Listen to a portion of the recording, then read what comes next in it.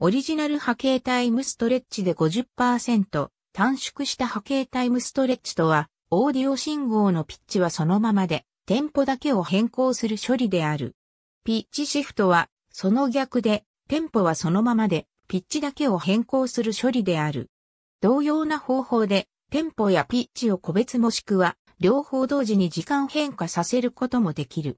これらの処理は例えば、複数の録音済みクリップをミックスするときに、ピッチやテンポを合わせるのに使用される。で、テンポ変更しても、悪影響が出にくいが、ピッチのあるトラックでは難しいまたピッチシフト処理は、楽音の音域拡張などのエフェクト処理にも使われる。最も簡単にデジタル録音クリップの持続時間とピッチを変更する方法はリサンプリング処理である。これはサンプルから連続波形を効率的に再構成し、それを別のサンプルレートでサンプリングし直す数学的処理である。そうして得た新しいサンプルを元のサンプルレートで再生すると、音はゆっくり再生されるか、あるいは素早く再生される。ただし、サンプル音の周波数は常に速度と同じ比率でスケールされるので、聴覚上のピッチは上下に移動する。言い換えれば、ゆっくり再生すれば、ピッチが下がり、素早く再生すれば、ピッチが上がり、二つの効果は分離できない。これは、レコードやテープといったアナログ録音の再生速度を速くしたり遅くするのと同様でチップマイク効果が得られる。ピッチに影響を与えずに信号の長さを変える一つの方法はフラナガンゴールデン1966、ポートノフ1976らに従ってフェーズボコーダを組み立てることである。基本ステップ、分析、STFT を使って信号の瞬時周波数と瞬時振幅の組みを計算する STFT とは短くて互いにオーバーラップしたスムーズな窓関数適用でブロック化した信号サンプルを離散、フーリア変換したものである。変更、STFT の位相や振幅に何らかの処理を適用合成、逆、STFT の実行、角、FFT ブロックを逆、フーリエ変換し、得られた短いサンプル波形を足し合わせる。波形頂上法とも呼ばれる。フェーズボコーダは制限波成分をうまく扱うことができるが、初期実装系では非整数比の時間スケール伸縮でトランジェント波形にかなりの不鮮明さが生じ、これが位相のずれた散漫な結果をもたらす。最近の改善によりすべての比の時間スケール伸縮でより品質の高い結果が得られるようになったが、依然として不鮮明な残留成分が残っている。また、フェーズボコーダ技術は、ピッチシフト、コーラス効果、音色操作、ハーモナイズ効果、その他特殊な変更などの実現に使用でき、これらはすべて時間の関数として変化させることができる。リビナーとシェーファーは1978年、時間領域で動作する代替策を打ち出した、それは与えられた波形区間の周期を何らかのピッチ検出アルゴリズムで見つけようと試み、そしてクロスフェードで各周期をつなぐ方法だった。この手法は時間領域超波構造伸縮あるいは同期波形超情報と呼ばれ、遅い計算機上でフェーズ母光だより多少早く実行できるが、倍音構造が複雑な信号の周期を自己相関が誤って推定すると失敗する。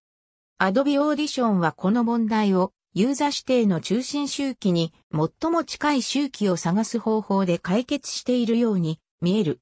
この手法のスコープはフェーズボコーダよりずっと限定されているが、リアルタイム応用向けにプロセッサ負荷をずっと軽くすることができる。この手法は声や単音楽器の録音といった単一ピッチ音の場合に最もコヒーレントな結果が得られる。ハイエンドの商用オーディオ処理パッケージは高品質なタイムストレッチ結果を得るために二つの技術を組み合わせたり他のウェーブレット変換や人工ニューラルネットワーク処理に基づく技術を採用している。サイネスイドルアナリシス、シンセスシステムタイムストレッチの他の代替手法は信号のスペクトルモデルに頼っている。この手法では、信号の STFT を使って、STFT フレーム中のピーク成分を識別し、隣接フレームのピークをつないで制限波トラックを生成する。次にこのトラックを新しい時間スケールで再合制約中してタイムストレッチを実現する。この手法は特に信号が複数のサブ帯域に分離しているときに多製の素材やパーカッシブな素材の両方で良い結果をもたらす。しかしこの手法は他の手法と比べより多くの計算資源を必要とする。単線率の音を円筒領域上の螺旋関数に沿った観測としてモデリングするピッチシフトとタイムストレッチの別の方法は旋律楽器などの単音を位相と時間に分離する手法である。訳中、この手法で時間コントロールだけを変更すれば、訳中、オーディオサンプルの伸長、短縮、時間反転、ループ生成が可能である。時間短縮は圧縮用途にも使える。また位相コントロールだけを変更すれば、既存の音のピッチシフトや FM シンセシスディストーションの適用が可能である。これは、ウェーブテーブルシンセシスに対し楽器を別のやり方で演奏するのに使用できる。と混同している可能性位相と時間を独立してコントロールするには、すべての位相と時間の組に関する音の変異を把握する必要がある。これは渦に示す円筒に相当する。ただし、音響信号は一次元信号に過ぎない。音響信号は円筒上の完全な関数の観測とみなすことができる。これは図中に黒い螺旋曲線として描かれている。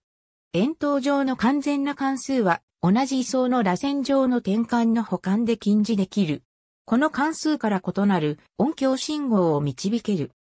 例えば図中の薄灰色の緩い螺旋曲線は元信号と時間発展が同じで、周波数がより低い音、または元信号と周波数が同じで時間発展がより速い音、あるいはその中間の音の経路を示している。最終的に全体プロセスは類似した位相と類似した時間における値を保管した離散音響信号のために実装できる。ここに記述された手法はメラディンソフトウェアのモノフォニックバージョンで使用されている。これらの手法は、オーディオサンプルを速度や持続時間を一定に保ったままトランスポーズするのに利用できる。例えば、タイムストレッチして元の長さとなるようにリサンプルし直せば実現できるだろう。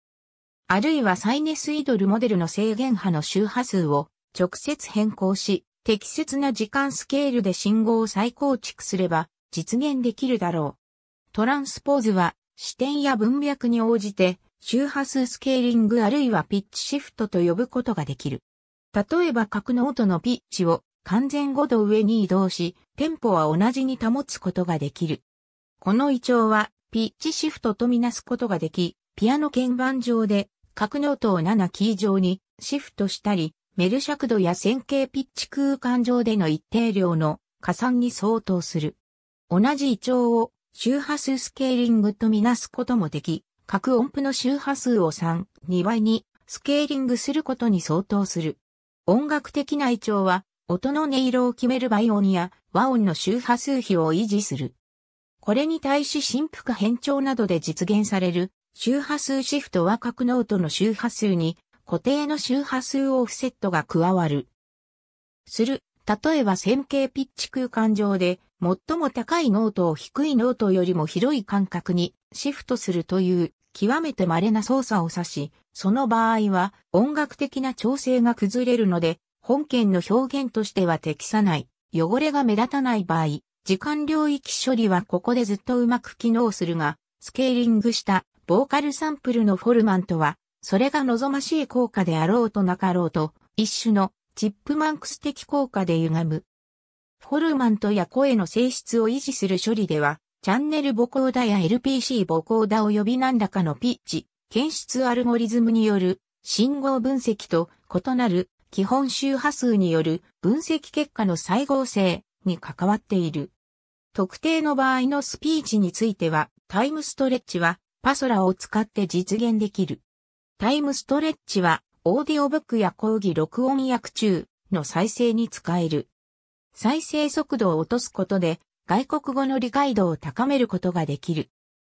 他方、再生速度が上がると理解度が低下すると想像するかもしれないが、ハーブ・フリードマンは次のように語っている。実験によれば、脳は話し言葉を通じた耳からの情報速度が平均的読解速度の時に最も効率的に働き、その速度はおよそ200から 300WPM であり、他方、話し言葉の平均的速度は100から 150WPM 程度に過ぎない。再生速度を上げた音声薬中の聴取は速読と等価なものだとみなされている。